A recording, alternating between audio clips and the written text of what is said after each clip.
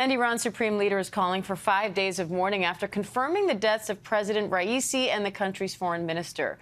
Iranian state TV says the two leaders and other Iranian officials were killed when their helicopter crashed on Sunday.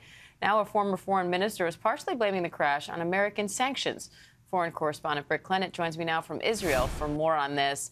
Uh, Britt, what's the latest on how this crash happened? Yeah, Diane, so the exact cause of the helicopter crash, it, it, remains unclear. What we do know is that the helicopter was one of three traveling in a convoy and that it crashed in heavy fog in, in cold conditions in this part of the country that's uh, very mountainous uh, and the conditions were extremely treacherous. And now the helicopter was also carrying the governor of the East Azerbaijan province along with other officials and bodyguards. That's according to Iran's state-run news agency. Uh, they were heading to the city of Tabriz, that's in the northwest of Iran after returning from a dam opening ceremony uh, on the Azerbaijan border. Now, Iranian authorities say that, in fact, one victim, uh, an imam, survived for an hour and, and, tried to raise help. That now the search lasted for more than 12 hours. It involved other countries, including Turkey. The Iranian Red Crescent said that the bodies of all the victims were then recovered from the crash site.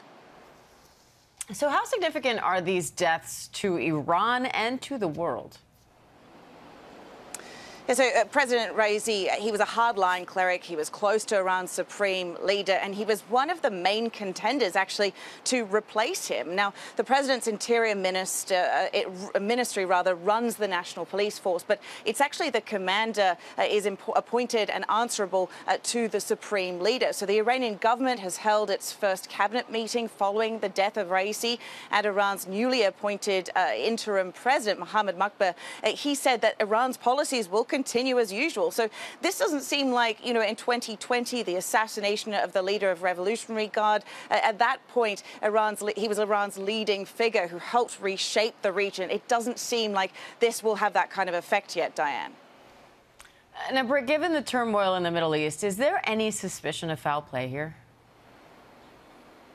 Yeah, look, at, at, this moment, we haven't seen a lot of speculation. It doesn't mean we won't see some finger pointing at this point, but, you know, it does indicate uh, that, you know, this is a heightened region. It has been on tender hooks for some time. I was here uh, in April when we saw Iran uh, launch that first direct attack on Israeli soil. So certainly, you know, this is a region on edge, and that doesn't mean that any kind of miscalculation or any misunderstanding uh, could uh, spiral out of control. But at this point, it does seem uh, kind of contained.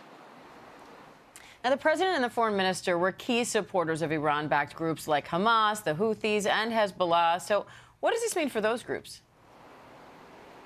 Yeah, so Hezbollah, Iran's main ally in Lebanon, uh, have uh, issued condolences, but the track of Iran's support uh, will not be disrupted. They made that very clear. President Raisi was close to the Iran's supreme leader, as I've just said. He designs and approves regional politics. So the interim president, Mohammad Mokhber, he comes from the same school of hardliners in support of the resistance.